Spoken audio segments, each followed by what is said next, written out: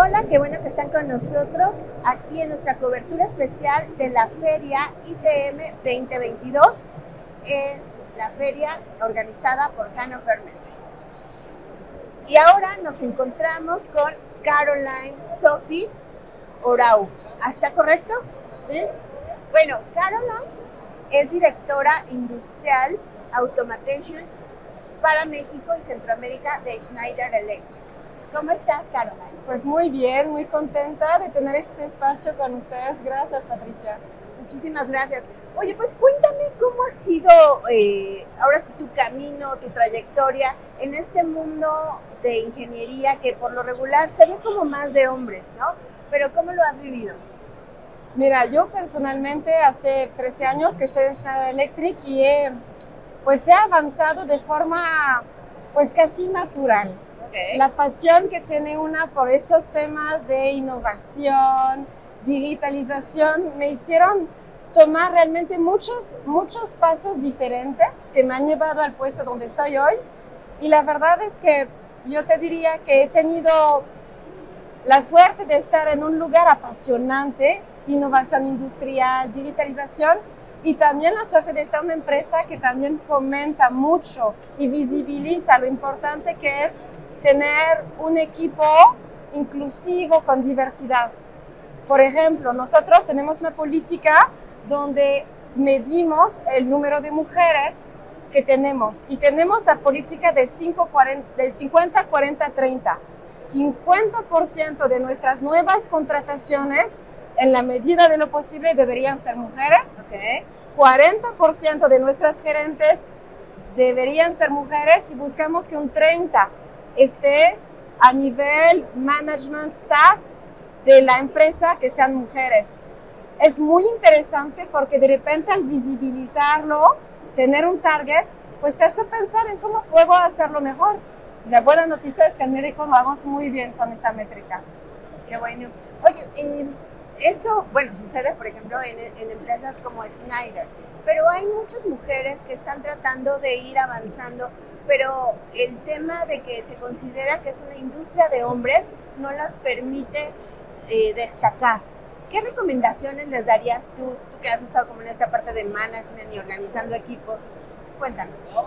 Yo creo que tenemos que romper nuestros propios paradigmas. Creo que tenemos que echarnos adelante, subir y, y, lucirnos, o sea, no ponernos nosotras mismas las barreras, porque muchas veces no las ponemos nosotras mismas. No podré, no estaré, que dirán, ya, vamos. Es mi filosofía y la verdad es que me ha funcionado y creo que a muchas mujeres de la industria es este punto de si puedo, si soy capaz, vamos. ¿Qué, qué recomendaciones les darías a, a las chicas ¿no? que apenas están como empezando en su carrera y que tienen como esta intención, pero de repente piensan que es un mundo, un mercado muy complicado? Yo diría que es un mercado apasionante, porque ya estamos hablando de datos, necesitamos esta parte analítica, necesitamos este conocimiento y lo bonito de una mujer es que nos viene a llevar otros skills. La meta no es parecer a los hombres o jugárnosla a, a ser idénticas, sino traer lo que tenemos nosotros, porque tenemos una muy bonita complementariedad con los hombres y que, y que sientan que las necesitamos aquí y que las vamos a valorar y que tienen un lugar que tomar. Oye, ¿me podrías platicar rápidamente de los cuatro aspectos que ayer mencionabas? Ah, los famosos Los cuatro, famosos integraciones, cuatro integraciones. más uno. Mira, en Schneider Electric, cuando visualizamos la industria del futuro, la próxima, la próxima industria, la próxima generación, lo que visualizamos es que hay, hay integraciones, hay acciones que tenemos que darnos cuenta ya y tomar de frente. Y esas cuatro son, la primera, es básicamente entender que hoy en día la automatización está ligado a la energía. Claro. No podemos tratar un tema de automatización deslindando de la energía, hay que ir por los dos y ver un proyecto en su integralidad. Y hemos comprobado que eso nos da muy buenos resultados en ciclo de vida de proyecto, en pro proyectos de eficiencia y también en reducción de costos operacionales. La segunda es darnos cuenta ya que hoy en día puede hacer comunicar el IoT, el Internet de las Cosas, con lo digital.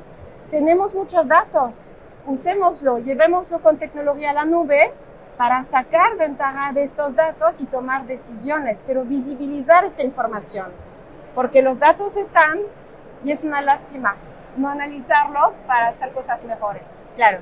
La segunda, la, perdón, la tercera es la parte de escalabilidad. Es tener, como tú ves sitio por sitio, cómo te aseguras que ya tú puedes ver toda tu empresa en una pantalla, no ver planta por planta, sino poder desde un panel poder comparar una planta con una planta. Claro. Igual tener esos datos. La cuarta, ya se me olvidó, No te preocupes. Y, y la, la más uno. la más uno, la más uno, muy importante es la ciberseguridad.